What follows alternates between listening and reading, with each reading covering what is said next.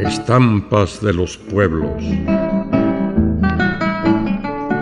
Los hay de diversos tipos, aristócratas y humildes, ricos y pobres, negros y blancos, buenos y malos, altos y bajos, en fin, de todo. Cuando hablamos de personajes de pueblos y ciudades, estamos hablando, por ejemplo, de Monseñor Lescano y Ortega en Managua, un gran personaje con ribetes de santo en la vieja Managua. Pero también estamos hablando de Pelleyeque, un personaje pintoresco que andaba por las calles con su carretón y que hablaba con todos y regañaba a todos cuando le gritaban su apodo. Maximiliano era otra estampa de Managua, personaje en harapos a quien los hipotes de San Sebastián perseguían en alegre algarabía. En fin, en Granada, León, Chinandega, Batagalpa, Rivas, en todas las ciudades y pueblos, hay personajes inolvidables de todos los tipos. En León, el padre Dubón tiene fama de santo y sus anécdotas son emocionantes y bellas. En Corinto, el padre Palé, amigo de los pobres, amigo de las prostitutas, viajaba en un vagón de tercera en el ferrocarril, pobre como San Francisco de Asís y poeta excelso. En Ocotal, Monseñor Nicolás Antonio Madrigal, virtuoso, amigo de los campesinos. Su cuerpo fue encontrado incorrupto cuando lo exhumaron para llevarlo a la iglesia de Mozonte. Bien, en el 93 estaba yo hablando del Dacatamal en una de estas pinceladas.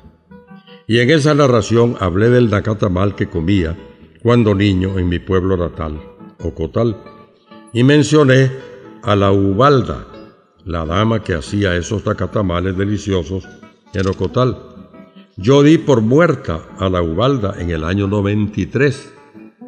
Resulta que me avisa mi hermano Heriberto que la Ubalda está viva y que yo la di por muerta y que ella oyó en el radio cuando yo la di por muerta.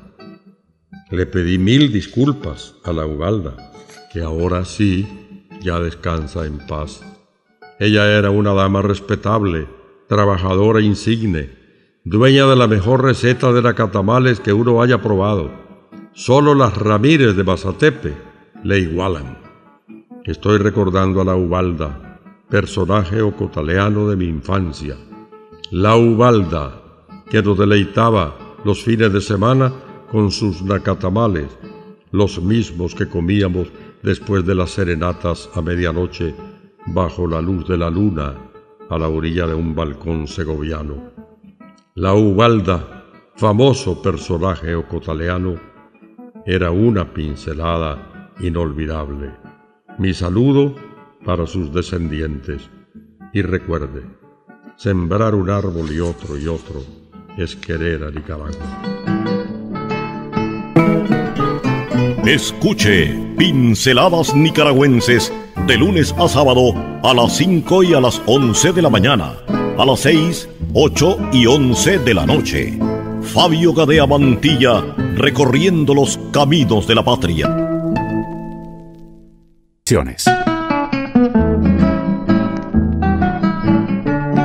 Estampas de los pueblos. Los hay de diversos tipos, aristócratas y humildes, ricos y pobres, negros y blancos, buenos y malos, altos y bajos, en fin, de todo. Cuando hablamos de personajes de pueblos y ciudades, estamos hablando, por ejemplo, de Monseñor Lescano y Ortega en Managua, un gran personaje con ribetes de santo en la vieja Managua. Pero también estamos hablando de Pelleyeque, un personaje pintoresco que andaba por las calles con su carretón y que hablaba con todos y regañaba a todos cuando le gritaban su apodo. Maximiliano era otra estampa de Managua, personaje en harapos a quien los hipotes de San Sebastián perseguían en alegre algarabía. En fin, en Granada, León, Chinandega, Batagalpa, Rivas, en todas las ciudades y pueblos, hay personajes inolvidables de todos los tipos. En León, el padre Dubón tiene fama de santo y sus anécdotas son emocionantes y bellas. En Corinto, el padre Palé, amigo de los pobres, amigo de las prostitutas, viajaba en un vagón de tercera en el ferrocarril, pobre como San Francisco de Asís y poeta excelso. En Ocotal, Monseñor Nicolás Antonio Madrigal, virtuoso, amigo de los campesinos. Su cuerpo fue encontrado incorrupto cuando lo exhumaron para llevarlo a la iglesia de Mozonte.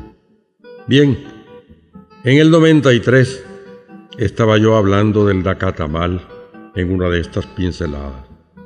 Y en esa narración hablé del Dacatamal que comía cuando niño en mi pueblo natal, Ocotal, y mencioné a la Ubalda, la dama que hacía esos dacatamales deliciosos en Ocotal.